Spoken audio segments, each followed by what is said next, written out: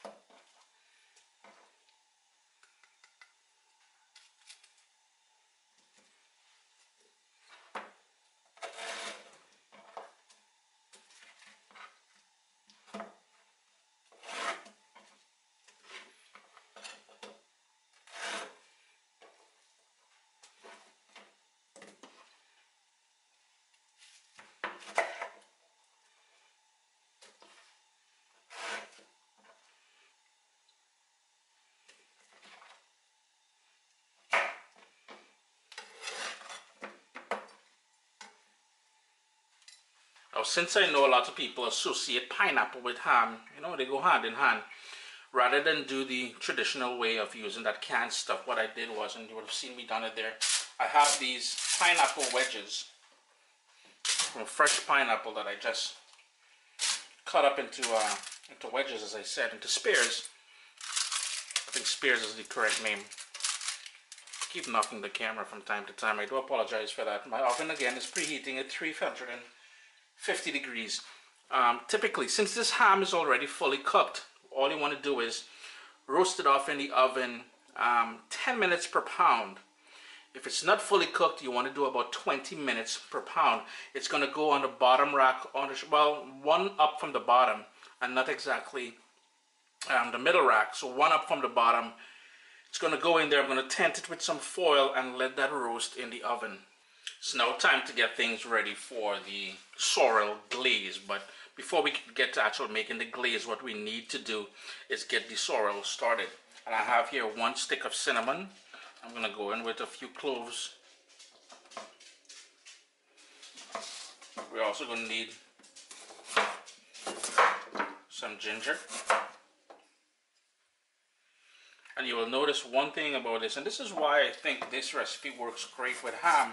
It's all flavors you associate with ham as well, right?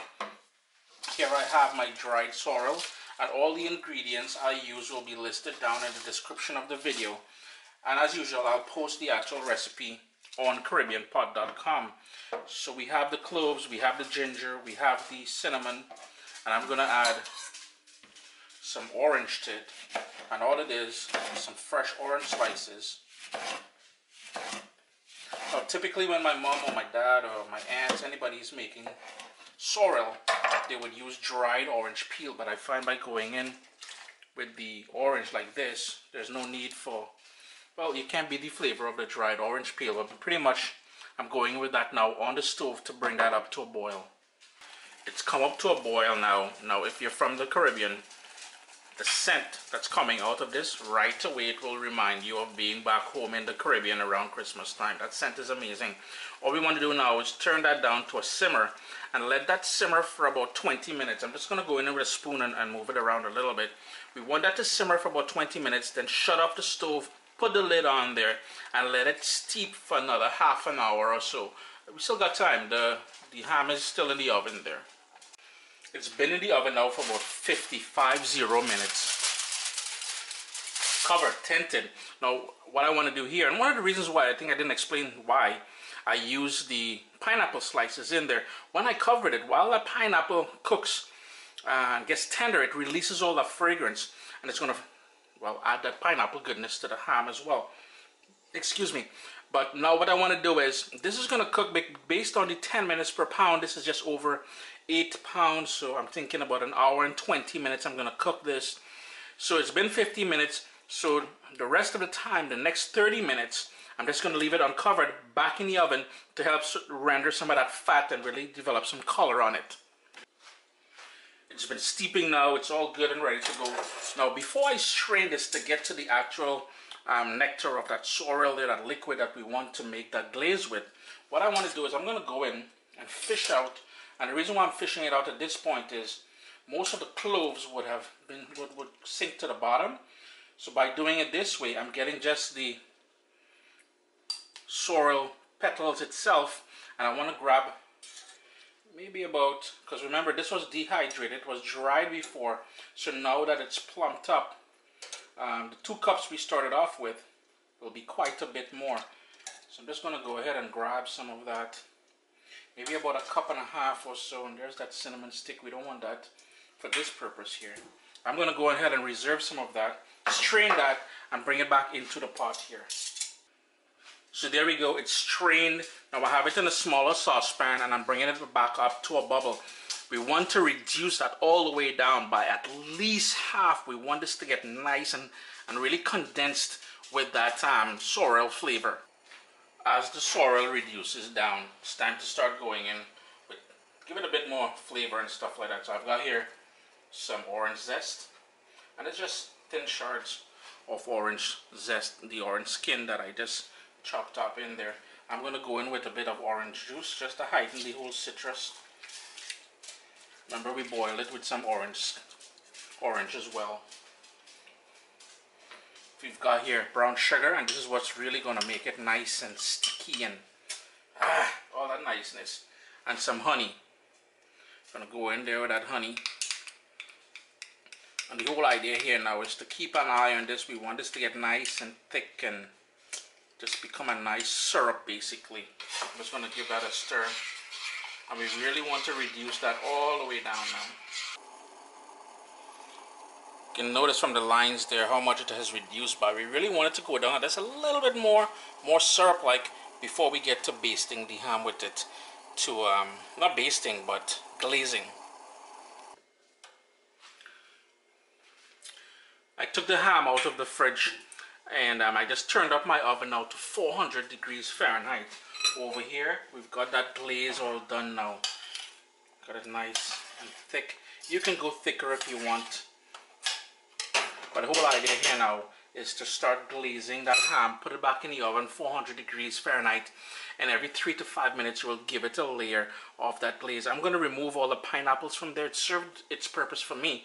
Now I'm going to use that same pineapple to make the sorrel chutney I spoke about earlier. Just going to start working that.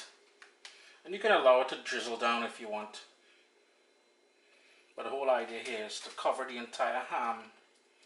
Just sort of sap it on actually. I think the sapping on might be easier. Give that a good coat of this and then back in the oven and you want to keep repeating it until you get the desired um, sort of glaze that you're happy with. Let's rock this quick chutney, sorrel chutney. So I've got some of the sorrel that we reserved and I gave it a rough chop. So that's going into my pan here pan is on a medium, uh, low heat. And I've also got all that roasted pineapple, which again I gave it a rough chop as well. That's going in there. Next up I've got some orange zest. You really want this on a low heat because we need to um, sort of cook it a little bit just to get everything coming together nicely. Some brown sugar. And this is more like a relish, I guess, than a chutney. Because when we think chutney, especially in the Southern Caribbean, it's supposed to be spicy. And the final thing, the juice of half of an orange, just to bring that all together. Low heat, put the lid on there and let it all come together.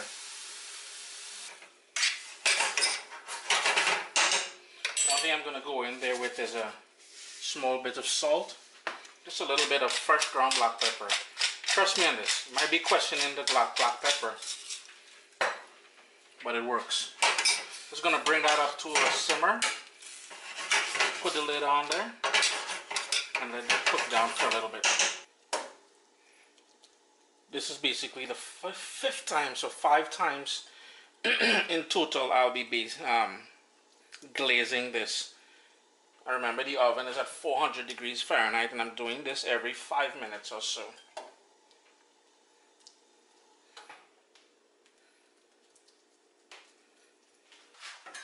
It's been going now for 15-20 minutes on that low setting. One thing I would recommend doing is to chop up the uh, pineapple pieces just a little bit smaller than this. I guess my eye big, obviously. But this is pretty much done. Allow it to cool. You can store this in the fridge uh, a good week or two. Serve it with your slices of ham and your proper. So here you go, friends.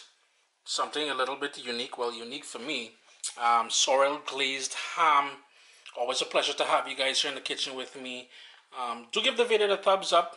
Thumbs up. I'll really appreciate that. And in the next few days, I'm going to take a couple days off because five recipes back to back, ain't no joke thing. I'm going to take a break and I'm going to come back with a couple recipes showing you guys how to use leftover turkey. Vibes it up and have a Merry Christmas.